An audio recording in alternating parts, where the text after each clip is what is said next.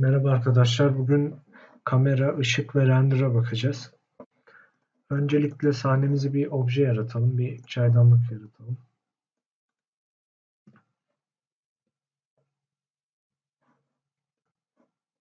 Segmentlerini 20 yapalım. Ortalayalım. Biz bu sahnenin render almak istediğimiz zaman üst tarafta render ayarlarımız mevcut. Ee, render render setup'a tıkladığım zaman bana bir pencere gelecek ve burada gerekli ayarları ben yapabileceğim. Ee, burada renderer kısmında şu an aktif olan render motorunu gösteriyor. Şu an Max ile birlikte gelen Scanline Renderer'ı kullanıyor. Bunun dışında biz burada birkaç tane render motor var. Bunları da kullanabiliriz. Art Renderer, V-Ray Render, sonra Corona Render da var. O bende yüklü değil şu an ama ben genellikle V-Ray'i kullanıyorum. Onun aşağı yukarı özellikleri de yine benzer olsa da yine de daha gerçekçi renderlar alabileceğiniz bir motor. Onu ama şu an ona değinmeyeceğiz. Scanline'ı kullanacağız. Burada render'a tıkladığım zaman render'ı alacak. Yani şu an render alınmış halde. Biz bu objeyi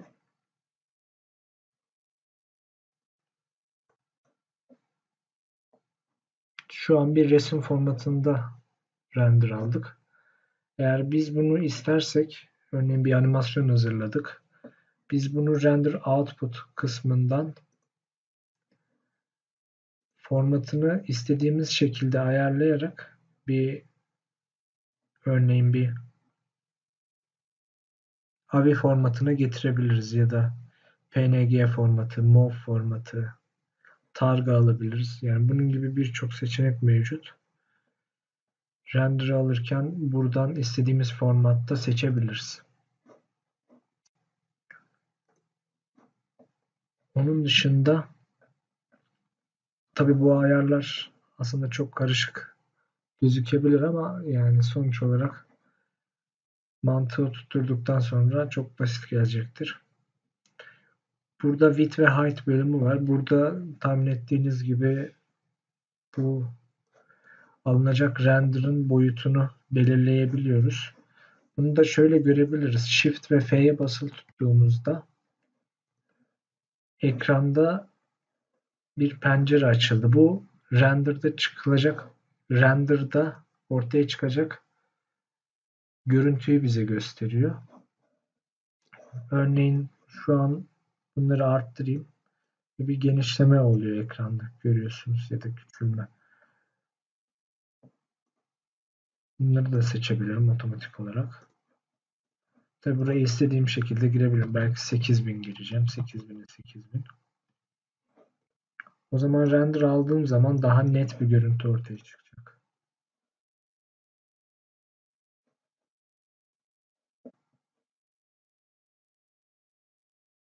Şu an gayet yaklaştığımız halde bile net çıkıyor.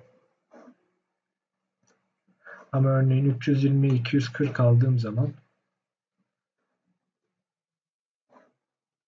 daha küçük bir render çıkıyor ve görüyorsunuz çözünürlük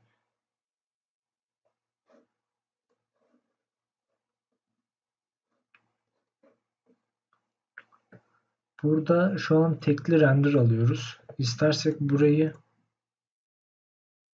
istediğimiz frame'ler arasında yazabiliriz. Atıyorum ben 20 ile 100 arasını almak istiyorum. Şuradaki zaman çizelgemden yani şu kısımdan sadece şurayı almış olacak. Şurayı almamış olacak. Mesela bir animasyon yapıyoruz. Ben sadece bunlara frame diyoruz. Şu an 100 frame'lik bir şey burası. Zaman çizelgesi. 20'den başlatırsam 20'den 100 arasına kadar bu şekilde render alacak. Her bir frame'i tek tek render alarak devam edecek ve ortaya bir animasyon ortaya çıkacak. Bunu buradan ayarlıyorum. Yani 20 ile 100 arasında olmasını istiyorum. Bu şekilde alabilirim. Ama ben şu an single alıyorum sadece. Fotoğraf olarak. Onun dışında şu an burada bahsetmek istediğim temel render ayarlarından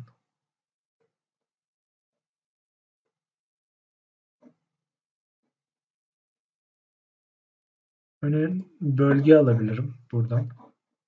Atıyorum ben sadece şurayı almak istiyorum. Render dediğimde sadece orayı alacak.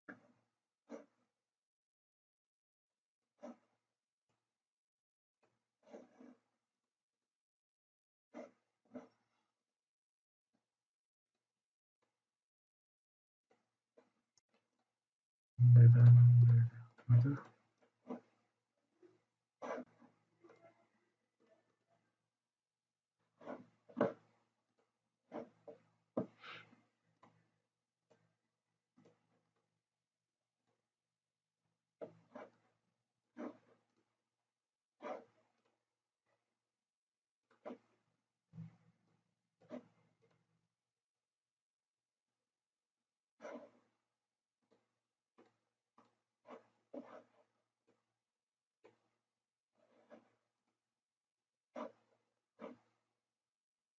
Bunu daha sonra bakacağım ben şu an.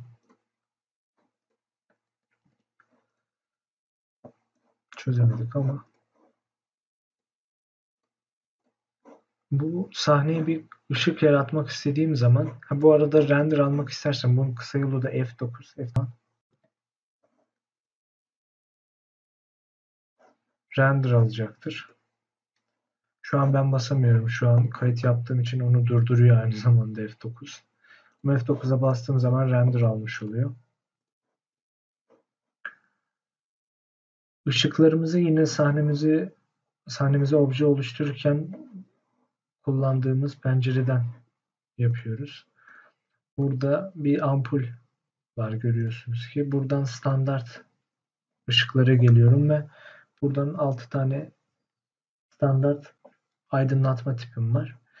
Target spot ve target direction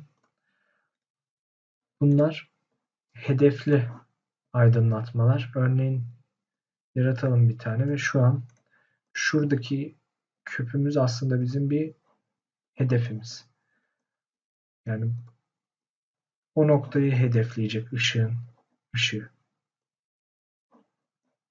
Örneğin şöyle yukarıya alalım biz bunu.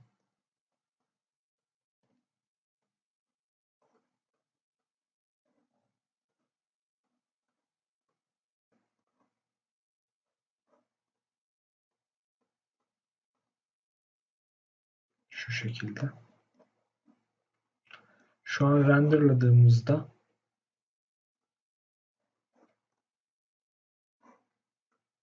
birazcık uzak oldu ve şunu da biraz arttıralım.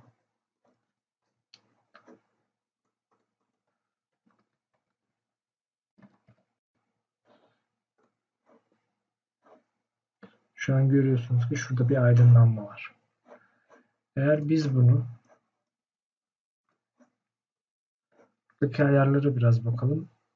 Buradaki tiki kaldırdığın zaman hedefi kaldırmış oluyorum. Şuradaki mavi çizgi aslında hedef. Target. Onu kaldırdığım zaman düzelmiş oluyor. Şey yani hedefimiz kaybolmuş oluyor veya hedefimizi geri getiriyoruz. Burada şuradaki beyaz alandan ışığımızın rengini seçebiliriz. Hafif sarıya çaldıralım. Şu şekilde. Multiplayer'dan da buradan 2 yapalım bunu ve ışığımız daha şiddetli görünsün. Renderlayalım. Bunu yine yakınlaşalım. Render alalım.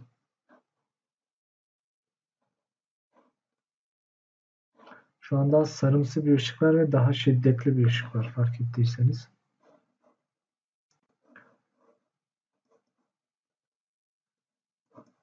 Onun dışında Burada gölgeleri ayarlayabiliriz. Gölgeyi açıp kapatabiliriz buradan. Burada da gölge tipleri var. Bunlar daha ayrıntılı bilgi içeriyor aslında. Bunları daha sonra değinelim. Burada gölgenin özellikleri var. Yani gölgeyi istersek siyahtan daha farklı bir renk de yapabiliriz sahneye göre.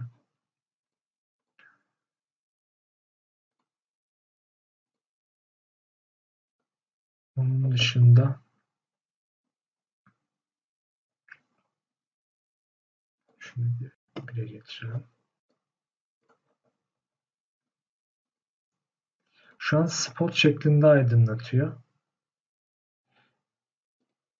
Evlerimizde olan spotlar şeklinde. Bunu directional da yapabiliriz. Directional yaptığım zaman sadece şu silindirin üzerini diki alanı ışıklandırma yapacak. Renderlıyorum hemen. Şu an mesela o alan gözüktü. Şunu birazcık çevirelim. Evet. Bunun haricinde Omni de seçebilirim. Bu da noktasal ışık kaynağı. Aslında bu farklı bir ışık tipimiz. Onu buradan yaratarak bakalım. Aslında şu üç ışığı biraz önce görmüş olduk. Hedefli spot, spotu evlerimizde olan spot şeklinde aydınlatmayı gösterdi ve diğeri de target direct, direction'dı diye hatırlıyorum. Emin değilim ama.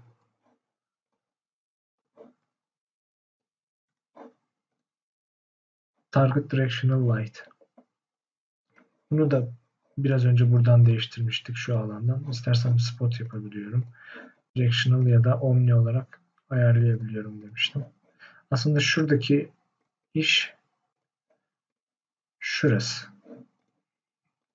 Bir de biz bunları free olarak yapabiliriz. Yani hedefsiz olarak. Hedefsiz bir spot yaratabiliriz. Fark ettiyseniz bir hedef yok. Yani ortada bir küp yok ya da free directional dediğim zaman yine yok. Omni dediğimiz ışıklandırma tipi şu an koyduğumuz zaman örneğin bu sadece silindirin orayı ışıklandıracak ve bu da sadece ortadaki alt taraftaki yuvarlak alanı ışıklandıracak ama Omni dediğimiz bu sahnenin her tarafına yansıyacak olan ışık. Bunu yukarıya alalım.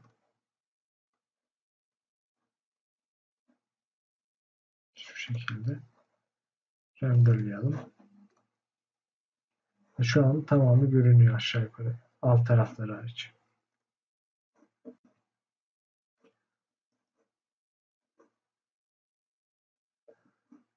Şimdi kamera oluşturmaya bakalım. Kameralar 3 tip kamera var. Free ve target kameralar. Genelde target ve free kullanılıyor. Target yine tahmin edebileceğiniz gibi hedefli oluyor. Şu an ortada yine hedefim ortaya çıktı ve kamera.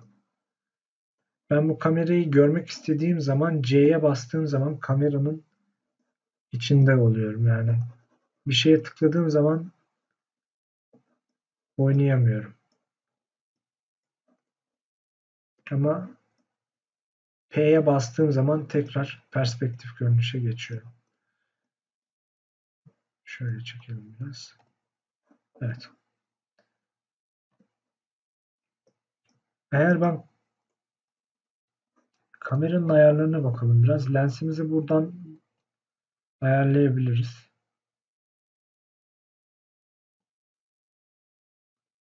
Yani burada belli kalıplar var. Bunları da tercih edebiliriz.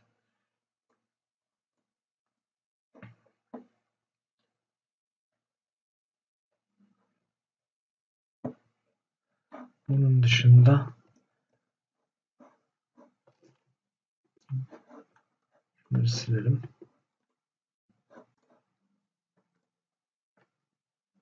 Free kamerada da bu sefer yine hedefimiz yok fark ettiğiniz gibi. Bunu şöyle döndürelim biraz.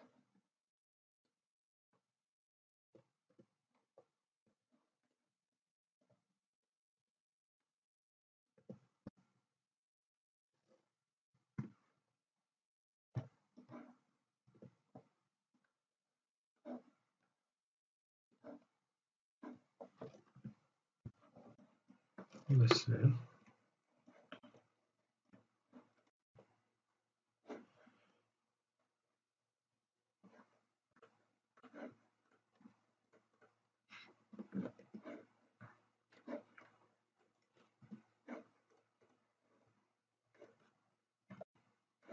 Kamera oluştururken bir de şöyle bir yöntem kullanabiliriz. İstediğimiz yere ayarlarız. Yani nereden bakmak istiyoruz. Örneğin şuradan bakmak istiyorum. Ben burada CTRL ve C'ye basılı CTRL'ye basıp C'ye bastığım zaman buraya otomatik bir kamera yerleştirmiş oluyor. Yani aslında en pratik yolu bu. Tekrar C'ye bastığımda onun görüşüne geçmiş oluyor.